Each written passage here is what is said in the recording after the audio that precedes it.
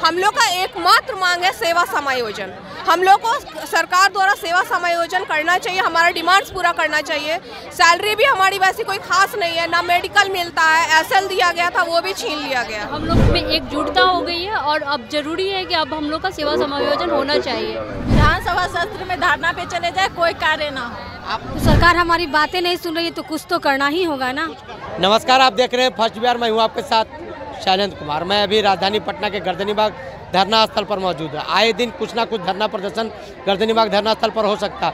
मगर आज ये हमारे पीछे जो देख रहे हैं ना, बिहार राज्य data entry operator computer operator संघ है। एक दिवसीय धरना प्रदर्शन चल रहा है। सवर्ग की माँ, एक ही मांग, विभागीय सेवा समायोजन।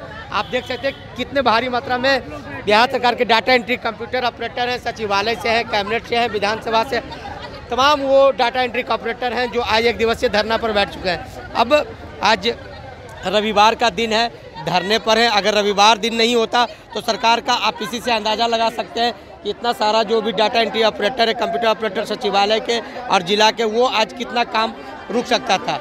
अब मैं बात कहूँ तो सोमवार से विधानसभा शीतकालीन सत्र भी चालू हो रहा है तो इस तरह से सरकार पर कितना काम का असर पड़ता है वो इससे अंदाज़ा लगाया जा सकता है। चलिए उनसे बातें करते हैं कि आखिर मांगे क्या है जो धरना प्रदर्शन पर बैठे हुए आखिर आपकी मांगे क्या है सर जो आज आप लोग पूरा काम धाम छोड़ के हम लोग- बैठ गए हम लोग का मात्र एक ही मांग है सेवा समायोजन।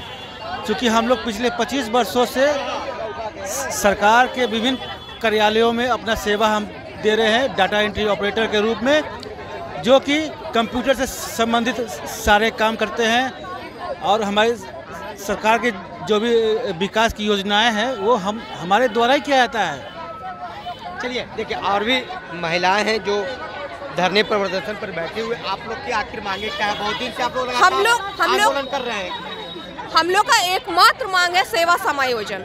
हम लोग को सरकार द्वारा सेवा समायोजन करना चाहिए, हमारा डिमांड्स पूरा करना चाहिए। सैलरी भी हमारी वैसी कोई खास नहीं है, ना मेडिकल मिलता है, एसएल दिया गया था, वो भी छीन लिया गया। तो बस सरकार से इतना ही है हम लोग का कि हम लोग को सेवा समायोजन होना चाहिए। चलिए, आप लोग लगातार धरना प्रदर्शन कर रहे हैं, सरकार, बिहार सरकार से एक ही मांग, ठेका, मजदूरी की समान जैसे आप लोग थर्ड पार्टी के द्वारा सरकार में काम कर रहे हैं। जी। आखिर प्रॉब्लम कहाँ है जो सरकार आपकी बात को नहीं सुन रही बहुत दिन से आप लोग लगातार धरना प्रदर्शन कर रहे हैं। जी हाँ हम लोग बहुत दिन से धरना प्रदर्शन कर रहे हैं। और हम लोग चाहते हैं सभी कर्मी लोग की हाँ, हम लोग का सेवा समायोजन किया जाए क्योंकि अब बहुत दिनों से सरकार हम लोग की बातों को टालते जा रही है। लेकिन अब ऐसा हो गया है कि हम लोग में एकजुटता हो गई है और अब ज़रूरी है कि अब हम लोग का सेवा समायोजन होना चाहिए।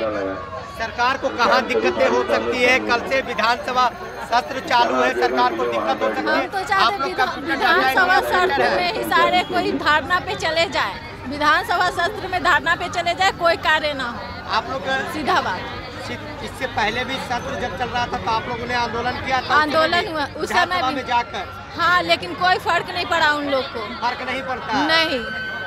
आगे क्या करिएगा अगर मांगे नहीं पूरी हुई तो? हम लोग काला बिल्ला लगाकर काम करेंगे उसके बाद हम लोग काम करिएगा। काला बिल्ला लगाकर अगर सरकार आपकी मांगे नहीं पूरी करती तो आगे क्या करिएगा? आगे हम लोग अनिश्चितकाल हड़ताल पे जाएँगे। अनिश्चितकालीन हड़ताल पर जाइए इससे तो सरकार का काम बाधित होगा हम लोगों। तो सरकार हमारी बातें नहीं सुन रही है तो कुछ तो करना ही होगा ना। कुछ करना होगा। क्या करिएगा? आगे आपकी बातें नहीं सुनी जाती है तो सरकार की। हम लोग लगातार हड़ताल करेंगे। हम लोग अनिश्चितकालीन हड़ताल पे जाएँगे। क्या करिएगा अगर सरकार बातें नहीं मानती है तो? अगर सरकार हमारी मांगे को पूरी नहीं करती है तो आने वाले समय में हम लोग महाधरना का आयोजन करेंगे उसके बाद अगर नहीं सुनती है तो अनिश्चितकालीन हड़ताल करते हुए सरकार के सारे कामों को हम लोग ठप कर देंगे। और हमारे बिना सरकार का एक भी काम यहाँ तक कि चपरासी से लेके आई यानी मुख्यमंत्री तक का भी वेतन हम लोग डाटा एंट्री ऑपरेटर द्वारा ही निर्धारित की जाती है ट्रेजरी में वो भी उन लोग को वेतन नहीं बन पाएगा। चलिए देखिए इस तरह से पूरे बिहार में ये जो धरना प्रदर्शन एक दिवसीय धरना प्रदर्शन पूरे बिहार में चल रहा है, पूरे जिला मुख्यालय, बिहार के जिला मुख्यालय में चल रहा और ये गर्दनी बाग धरना स्थल पर चल रहा है। ये जो पूरे हैं, ये सचिवालय के हैं, सचिवालय स्टाफ है, कैबिनेट सचिवालय में भी बैठे हैं। एक मिनट, मैम, अगर आपकी मांगे नहीं पूरी हो आपकी मांगे नहीं पूरी हुई तो क्या? हड़ताल पे जाएँगे हम लोग, कल से काला बिल्ला लगाएँगे। कल से काला बिल्ला। विधानसभा सत्र चालू होने जा रहा है। देखिए, किस तरह से सरकार के खिलाफ ये जो नारेबाजी कर रहे हैं, आप देख सकते हैं, तमाम आप देख सकते हैं कि किस तरह से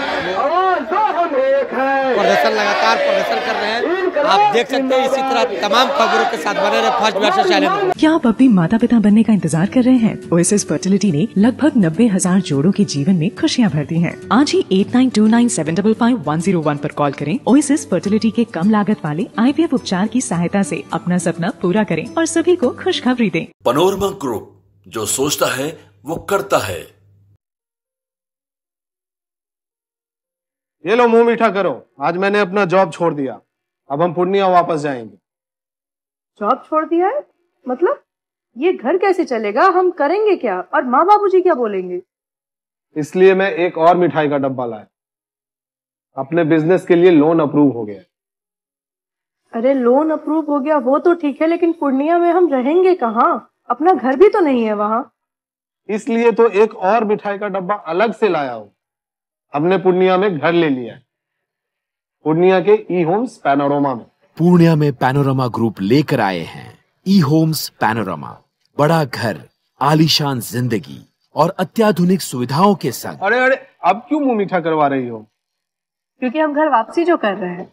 घर वापसी की खुशी। पूर्णिया में ई होम्स पैनोरमा के संग। ई homes panorama luxurious lifestyle redefined